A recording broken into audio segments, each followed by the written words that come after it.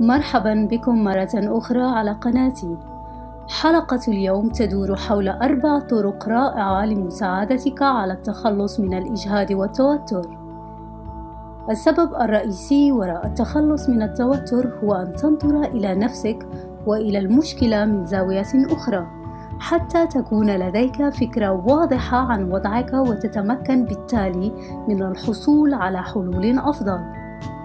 كلما تمكنت من القيام بذلك بشكل أفضل، كلما تعافيت أسرع وأصبحت مستعدا لمواجهة التحديات الجديدة.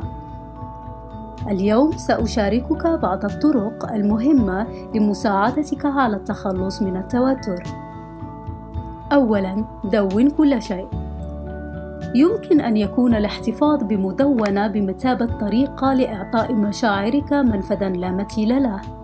المدونة هو المكان الذي يمكن أن تكتب فيه أعمق أفكارك دون خوف من الحكم عليك أو اللوم، أو تكون بحاجة إلى تبرير. تتيح لك المدونات أن تكون على حقيقتك، وأن تكون مكانا يمكن من خلاله أن تسافر بعواطفك برفق وتعاطف وفهم عميق. سوف تتخلص من كل ما يعذب عقلك وتضعه على الورق سيعطيك هذا نظرة خارجية حول كيفية تغيير أو حل المشاكل وهذا يؤدي في نهاية المطاف إلى الحد من الإجهاد. ثانيا افعل ما تحب. غالبا ما ينظر إلى الهوايات على أنها أنشطة للأشخاص الذين يعيشون حياة هادئة ومريحة ومع ذلك قد يحتاج الأشخاص ذوي الحياة المزدحمة والمرهقة إلى هوايات أكثر من الشخص العادي، حيث سيستفيدون بشكل كبير من ممارسة هواياتهم. تجلب الهوايات العديد من الفوائد التي عادة ما تستحق أكثر من الوقت الذي نقضي في ممارستها. لذا اقضي ما لا يقل عن ساعة إلى ساعتين يوميا في الأمور التي تحب القيام بها. ثالثا مارس الرياضة عندما قدمت استقالتي من وظيفتي لبدء عملي الخاص واجهت الكثير من الضغط من الناس المحيطين بي.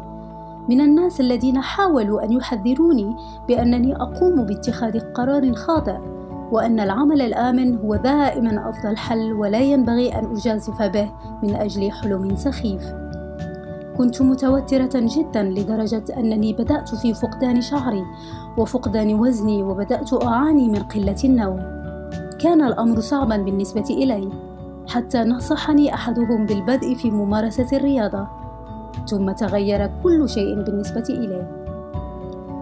ممارسة الرياضة هي واحدة من أهم الأشياء التي يمكنك القيام بها لمكافحة التوتر والضغوطات. قد يبدو الأمر متناقضا لكن الإجهاد البدني من خلال التمرين يمكن أن يساعد في تخفيف الضغط النفسي. وتكون الفوائد أقوى عندما تمارس الرياضة بانتظام. الأشخاص الذين يمارسون الرياضة بانتظام هم أقل عرضة للقلق من أولئك الذين لا يمارسونها. رابعاً: اضحك أكثر. من الصعب أن تشعر بالقلق عندما تضحك، هذا مفيد لصحتك، وهناك بعض الطرق التي قد تساعد في تخفيف التوتر. الضحك يجلب المزيد من الأكسجين إلى الجسم والأعضاء. يحفزك ويخفف استجابة التوتر لديك. يخفف التوتر عن طريق استرخاء العضلات. وعلى المدى الطويل يمكن أن يساعد الضحك أيضا على تحسين نظام المناعة وتحسين المزاج. شاهد برنامجا تلفزيونيا مضحكا أو أطفالا على يوتيوب. وشارك الأصدقاء المرحين أو أفضل حاول الضحك على مشكلاتك. إذا أعجبك الموضوع لا تبخل علينا بالضغط على لايك شاركه مع أصدقائك وانضم لي عبر اشتراكك في قناتي ليصلك كل جديد يومياً.